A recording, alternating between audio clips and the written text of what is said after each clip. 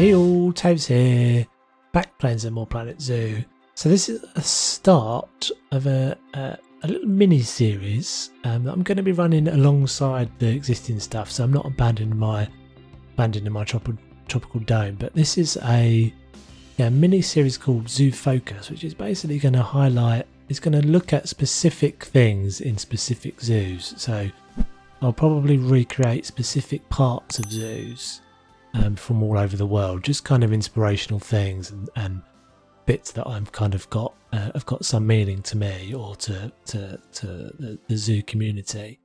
So this one, um, particularly kind of pertinent to me, as it's uh, you know the, the largest zoo in the UK, actually one of the largest uh, zoos in Europe, I would say. Um, Chester Zoo and Chester Zoo uh, last week, I believe, or the week before, um, made a big kind of announcement of how much of a financial crisis they're in. Um, and unfortunately, this is something that reflects the states of, of, of, zoos across the world at the moment, because obviously um, coronavirus has kept us all at home, and yeah, that's massively, massively detrimental to a zoo. Chester Zoo, for example, um, needs have come out saying that they need 1.6 million pound a month in order to financially survive. Now that is pretty incredible amount of money when you think about it, um, and it's basically because 97% of their revenue of their income comes from visitors, um, be that either from from ticket sales or from um, people adopting animals or adoption packs and all those sorts of things. And obviously, in this last three months, none of that's been happening. Um, Chester Zoo has 35,000 animals, um, and they say on their website they've got 35,000 animals that are in the kind of threatened and endangered species categories. Um, so yeah, so actually, you know, when you come to think about it, you know, you can't shut down a zoo. Those zoos have to feed their animals. The animals can't can't be kind of furloughed and sent home. They still need looking after, and therefore you still need your staff, and you still need your feed costs, and all your veterinary bills, and all those sorts of things still still have to happen. So um, this is a bit of a sort of um, yeah, a bit of a combination of things really. I thought I'd do this episode a as a kind of uh, uh, a pointer and a direction to um, Chester Zoo's fundraising exercise, and I've set up a set up a, Just Giving page, but they've obviously got a Just Giving page of their own, and I'll I'll direct you to um, both of those in the description. Um, so if you want to donate, and obviously don't feel don't feel pressured to, but if you can afford to donate, um, either to Chester Zoo or just to kind of get get more information about your local zoo and find out if you can help them or if they're in, in trouble. Um, so I thought what I, what could do is, you know, I've been actually, um, I've been planning to visit Chester Zoo for a while because I've never actually been. I've been to London Zoo. London Zoo is closer to where I live in the south. Um, but I have actually got um, tickets. Actually, funny enough, when I started playing Planet Zoo, um, I was given some tickets for Chester Zoo. So, unfortunately, I haven't been able to go since it's been shut. Uh, so, what I thought I'd do is just kind of do what I could do.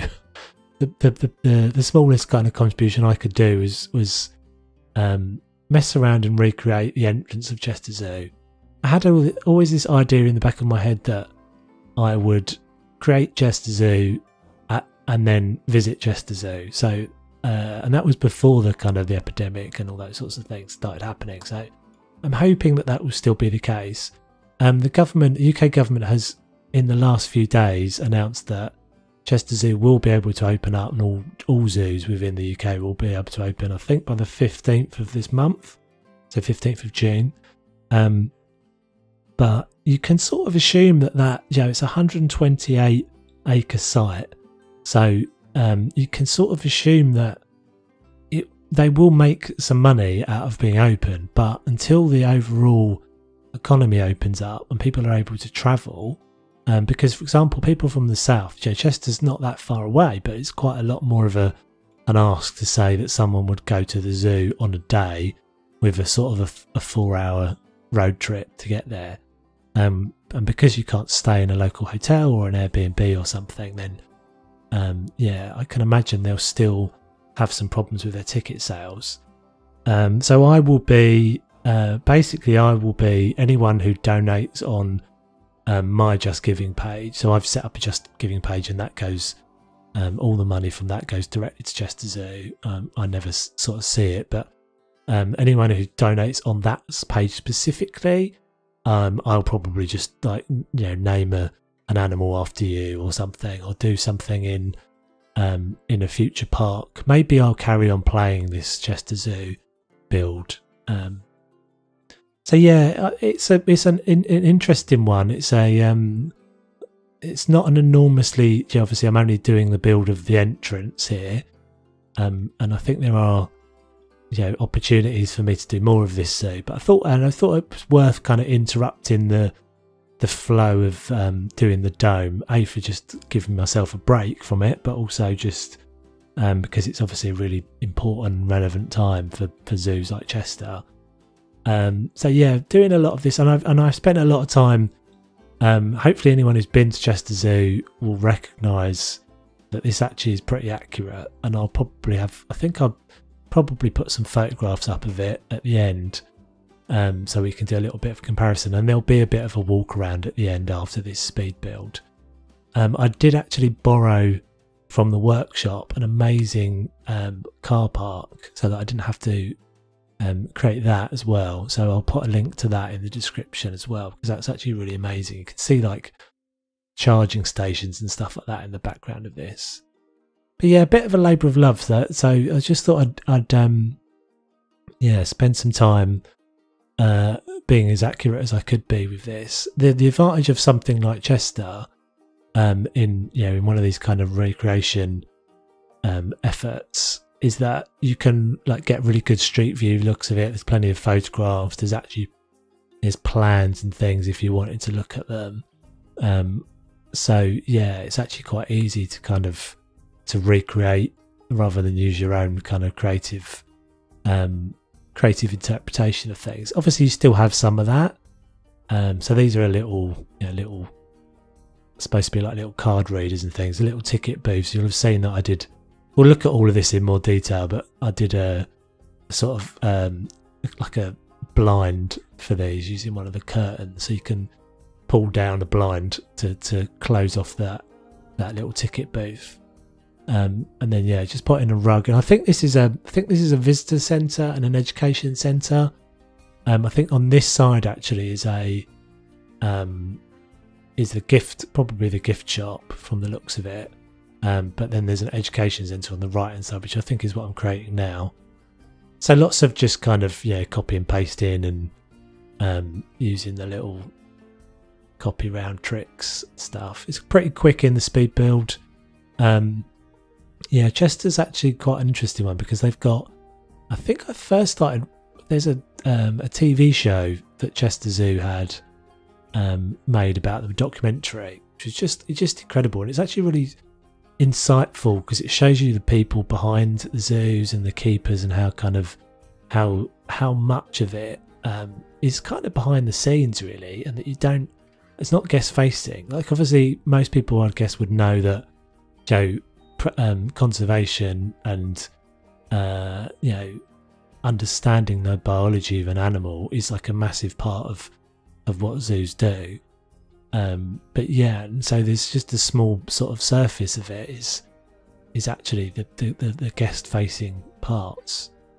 Um, but then to hear that they, you know, ninety seven percent of their income comes from um, from the from the ticket sales, it's just interesting. Because you sort of think, well, they I wonder how much of that money actually gets used, you know, for the for the kind of the, the stuff that we see behind the scenes, you know, the, the breeding programs and all that sort of stuff. This was a fun little bit actually. They've got quite interesting kind of gates. Um, I think this is a fairly new version of the entrance because there's um uh 2012 is a date. It's 1952 to, to 2012. I think 1952 was the year that Chester Zoo was opened. I believe I should have probably fact checked that. Um, and then I think this renovation to the entrance was done in 2012, which is where you see the dates 2012 and 1952 in the in the um, in the uh, metalwork in a second in the gates. so yeah, just kind of coming to the end here, putting some details in. Um, it's an interesting sort of shape, actually. Another thing you can look at if you're trying to do one of these kind of um, accurate recreations is not only can you look at the street view of Chester, um, and Chester actually has an internal. Um, you, know, you can you can actually walk around inside the zoo in in Google Street View, which is incredible. Um, but being able to also look at the satellite images is really handy because you can look down, top down on the shapes of buildings and those sorts of things. So I used that to try and get all of the um, the roof lines and stuff as close as I could. Uh, obviously within the restrictions of the of the, the pieces. So I'm making the gates now. Um, and there's a couple of really cool little bits actually, which you don't massively see in the speed build, but um, you'll see when I do the real time section at the end. Um, I added some. They've got some like fish and uh, sort of wrought into the into this metal work. So yeah, here's the two dates: 2012 and then 1952 is the next one. Uh, yeah, and so it does it sort of it. I mean, uh, potentially, it's a, so there's my fish that my attempt at a little fish doesn't. It's not too bad. Uh, but yeah, so maybe I end up turning this into a park. I think this series will be um, just bits that kind of interest me, um, rather than doing whole big zoos. I think they'll just be kind of spotlights for example, this is something that took me a while to figure out. So this is the roof line on top of this roof line. So you see these kind of weird, um, almost bisected circles uh, that they have, and then the roofs have got like a. This is quite, an, I think, quite an iconic look. Um, this sort of shaped timber structure. So I sussed out that the easiest way to do this was to get a guide was to use um, curved barrier tops. So I'm just putting this glass barrier in as like a guide, and then you'll see I've put lots of planks down. I've kind of randomized the color of those planks. And then this starts to go a bit speedy in a second, so I won't be going for all of this, but just sort of following the curve now. So dragging up each one of these posts, following the curve to give it kind of a, a former of this of this shape. Um, and I think when you see it at the end, it works quite well. Um, and obviously, and what's quite cool is I noticed that on some of the pictures, uh, that originally when they put this timber work up, it was all nice and sort of golden wood coloured, and then it's it's aged over time to this lovely kind of silvered colour. So now we're making the actual um, the zoo signs. This is quite a recognisable um, yeah, if you know Chester, you'll you and if you don't know any of the buildings, you probably know this logo. Um, and this took me a little bit of figuring out how to get it, and it's not quite perfect. Uh, and we do a bit of a jump ahead in a second, but uh, getting the logo right. It's actually like a handwritten font, so it's quite quite difficult to match. Um, I borrowed one of the workshop fonts there and had to adapt it uh, so yeah, just making the shape of the of the logo and stuff. So we will we'll be back very shortly where I'll talk to you through some of the specifics and show you some of the specifics uh, in the real time section. So back in a second, guys.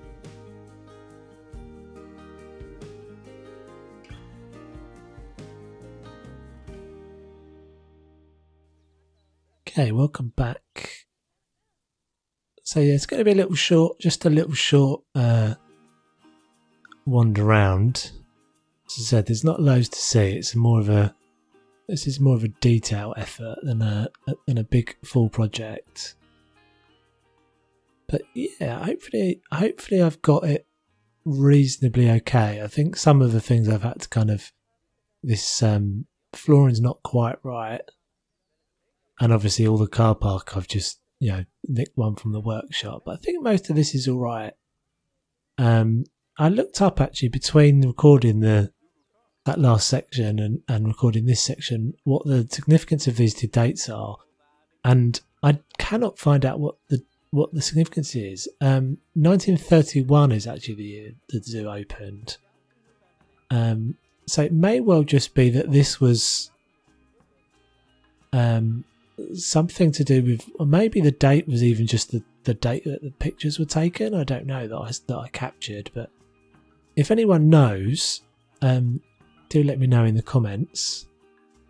So here's our little, you know, basic queuing system. We've got, so we've got a little, little viewing, uh, little, you know, windows out for the for the, the ticket, ticket peeps to, to administer, and uh, yeah, it's obviously it's none of it's none of it's made inside. It's all just kind of hidden inside.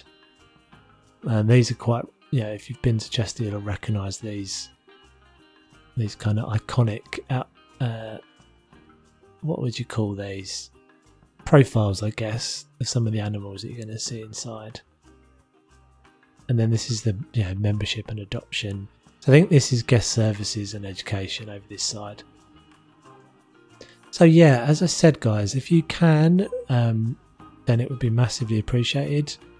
Uh, if you could, you know, if you can help out in any way, um, even if it's not with Chester, if it's with your local zoo, you know, lots of zoos are in real crisis at the moment. Um, Chester specifically, you know, it's Chester chesterzoo.org slash support hyphen us. Um, that's their page. I'll put that um, down below, but also make sure that my Just uh, Just Giving and uh, their Just Giving pages are down there. And hopefully, we'll be able to do more. I'd love to be able to do more of this series and um, develop the zoo and show some real pictures and stuff of, of this this awesome place. I'd say it's not the most dramatic of entrances, um, but I know what lies behind it is is pretty amazing, filled with amazing people. So yeah, that's all from me, guys. Um, normal service will be resumed next week, back on the dome, and yeah, I shall catch you guys on the next one. Take it easy.